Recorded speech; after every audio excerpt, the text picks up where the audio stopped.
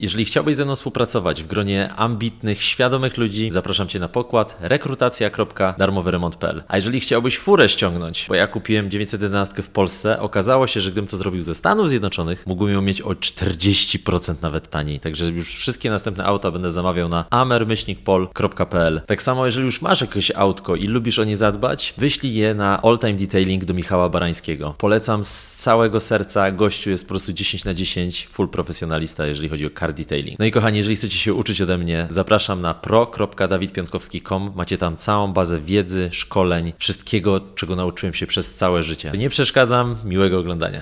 Od mojego postanowienia, że chcę być bezwarunkowo szczęśliwy, nie minął tydzień.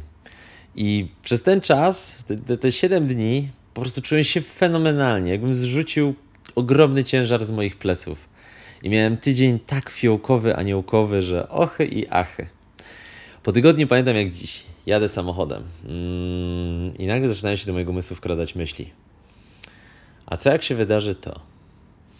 No, to będę musiał zacząć, nie wiem, znaleźć jakąś pracę. A co jak nie znajdziesz? No to nie, wiem, będę kombinował. No, a co jak ci się nie uda? To nie wiem, to w najgorszym razie pojadę do Anglii. I wtedy zaczyna, przybudziłem się tak i mówię: wow, wow, wow, wow, wow, wow, wow, wow. Czemu się zaczynam czuć źle? jak zdecydowałem świadomie, żeby być szczęśliwym. Dlaczego ja sobie wkręcam taki negatywny film, jak zdecydowałem, że już zawsze będę szczęśliwy? Co tu się dzieje? Dlaczego moje ciało zmienia mi samo stan emocjonalny? Dlaczego takie myśli mi przyszły? I teraz przecież zdecydowałem, że chcę być szczęśliwy. Przyszły myśli, które wprowadzają mnie w taki stan, a ja nie chcę o tym myśleć. Czemu mi się to myśli? Skąd to jest? Dlaczego ja teraz ze sobą w ogóle gadam? Przecież ja powinienem znać wszystkie odpowiedzi. Co się tu dzieje? Co tu się wyprawia?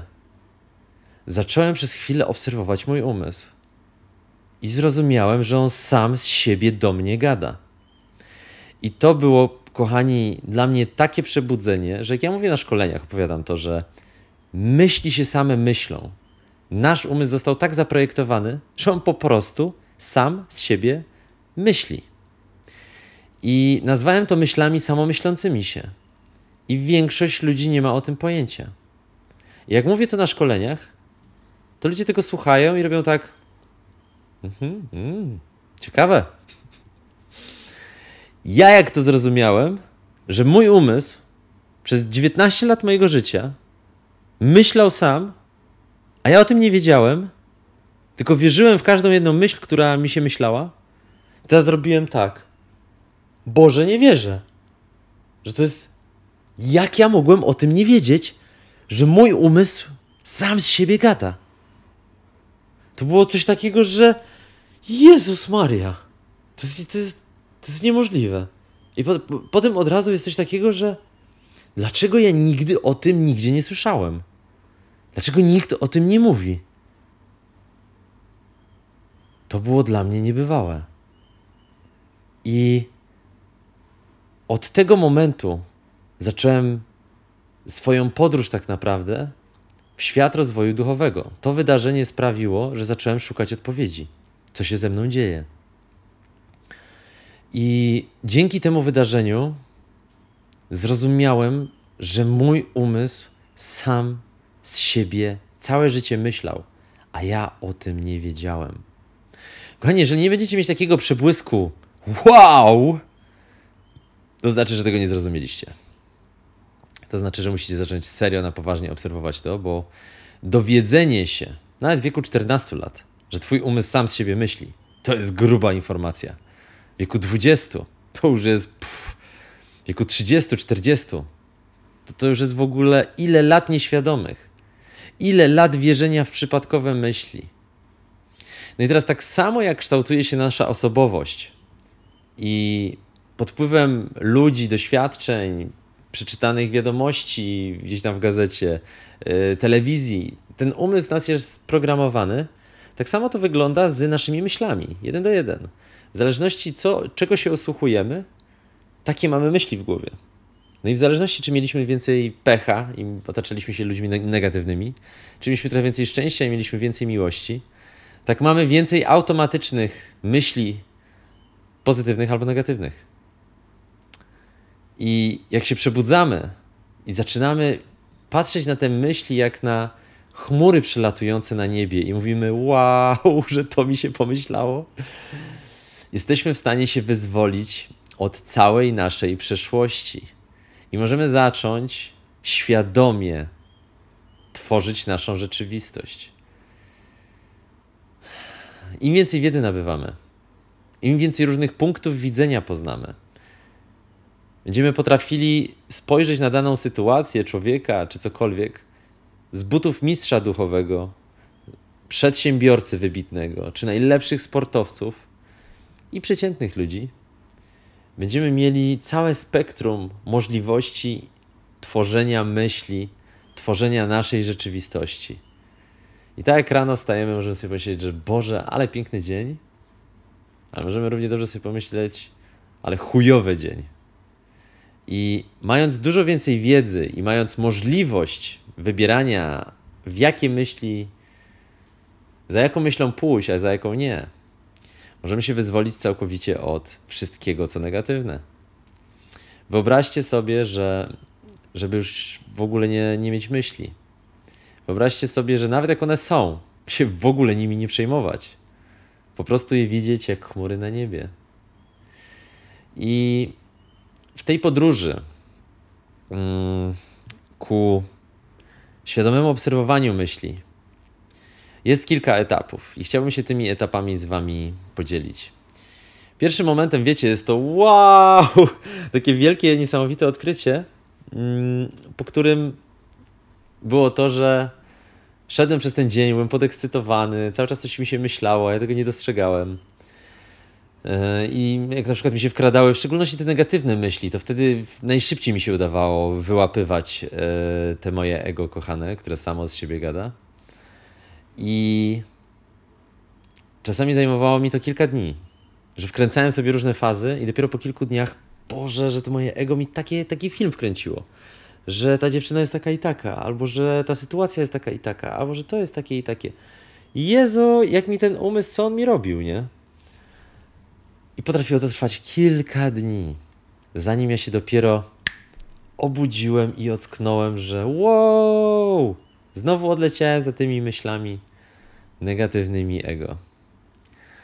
Po czasie to już było tak, że łapałem się po godzinie, po kilku godzinach. Z biegiem lat stało się to tak, że e, po kilku sekundach się łapałem.